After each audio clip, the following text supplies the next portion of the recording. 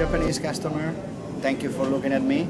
So now I'm showing you a new product that will be available to your market end of this year.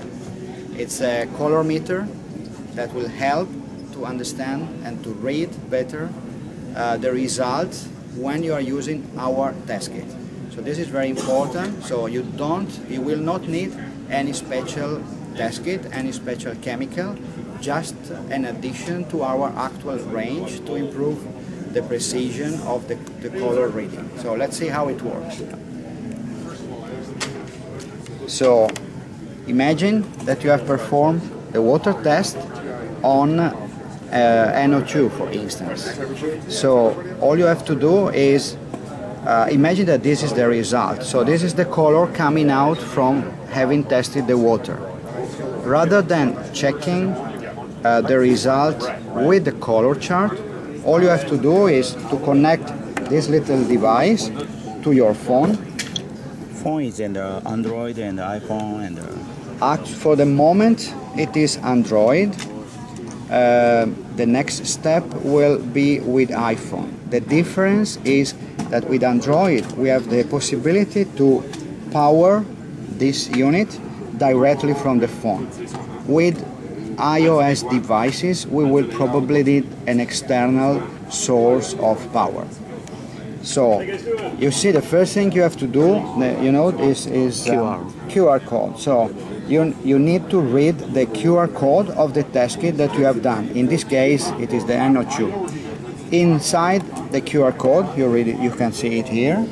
There are all the information needed, uh, including the batch number. So every batch number will have its own QR code.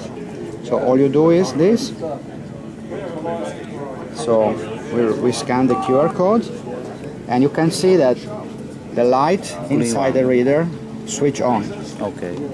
So this was the color that you have obtained. Normally you will simply pour this water inside the reader and read the result here. I just put this one and you can see the result there. Imagine that your result was this one, so a little bit more NO2. So you can see that the color reading would have been this one. Okay. So, and of course, this is a multi-parameter readers.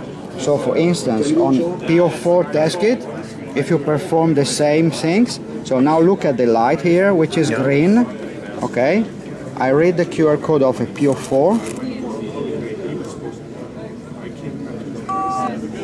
And you see that the right turn okay. to a different color. Change. Change to a different color, yeah. This is very helpful because it will simplify reading of color because some people may read color in a different way as they are. So color blind people or anyway there is an interpretation of the color. That's it. Okay, put in a PO4. Uh, no, but uh, the P this is not PO4, okay. this is NO3. The PO4 must be blue. Okay.